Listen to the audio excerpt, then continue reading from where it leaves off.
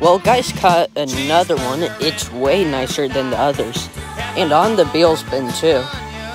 Um, so yeah, let's get the release. There she goes.